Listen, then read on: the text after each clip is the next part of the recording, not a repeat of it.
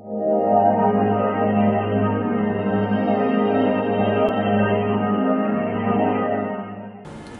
vui được gặp lại quý vị và quý cư dân trong chuyên mục bản tin tuần này của Ban Quản lý Tòa nhà Dolphin Plaza, bản tin số 46.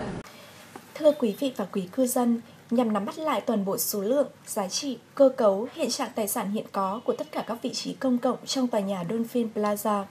Tuần vừa qua, được sự chỉ đạo của lãnh đạo Ban Quản lý Tòa nhà Bộ phận Dịch vụ đã kết hợp với Bộ phận Kỹ thuật, Bộ phận An ninh, Bộ phận Vệ sinh của tòa nhà tiến hành công tác kiểm toán, kiểm kê tài sản hiện có tại tòa nhà Dolphin Plaza. Tất cả các dữ liệu thống kê thu thập được tổng hợp trong báo cáo trình chủ đầu tư để làm căn cứ xác định nhu cầu sử dụng, sửa chữa, mua sắm, bảo trì bảo dưỡng và nâng cấp tài sản trong năm 2015.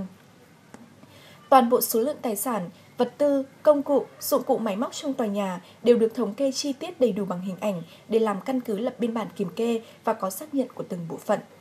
Số liệu kiểm kê, kiểm toán tài sản sau khi hoàn thiện có chữ ký của các bộ phận sẽ được nộp cho ban quản lý tòa nhà, chủ đầu tư và các bộ phận có liên quan.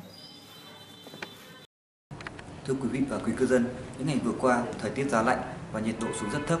Đây chính là điều kiện khiến cho cơ thể chúng ta dễ bị cảm lạnh. Rất nhiều người đã mắc căn bệnh này, tuy nhiên cách để phòng tránh nó lại hoàn toàn không khó. Và sau đây, tôi xin giới thiệu tới quý vị và quý cư dân một vài cách để giữ cho sức khỏe của chúng ta thật tốt trong mùa đông giá lạnh này. Thưa quý vị và quý cư dân, trong những ngày lạnh này, quý vị và quý cư dân hãy mặc ấm, đi găng tay, tắt chân, đội mũ và quàng khăn để chống rét. Một điều lưu ý nhỏ đó là chúng ta có thể mặc nhiều lớp áo mỏng sẽ khiến cơ thể của chúng ta ấm áp hơn khi chỉ mặc một chiếc áo dày. Và tuyệt đối không nên mặc quần áo ẩm ướt. Vào những ngày giá lạnh như thế này, thường là sức đề kháng của cơ thể chúng ta khá yếu và không còn mạnh mẽ như khi thời tiết bình thường. Chính vì vậy, chúng ta nên giữ gìn sức khỏe bằng cách sau khi đi ra ngoài về, hãy ngay lập tức dùng nước ấm để rửa tay bằng xà phòng. Quý vị và quý cư dân nên duy trì thói quen uống nước đầy đủ từ 1,5 đến 2 lít nước mỗi ngày để quá trình trao đổi chất trong cơ thể được diễn ra bình thường. Nếu có thể, hãy sử dụng nước ấm thay cho các loại nước bình thường khác.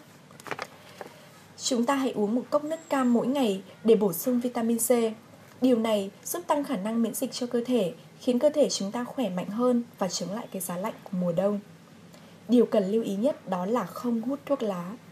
Hút thuốc lá không chỉ gây tổn hại cho bạn mà cả những người xung quanh.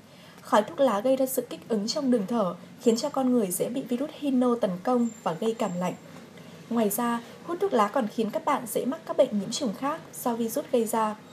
Hút thuốc lá thụ động cũng có thể gây nhiễm trùng họng.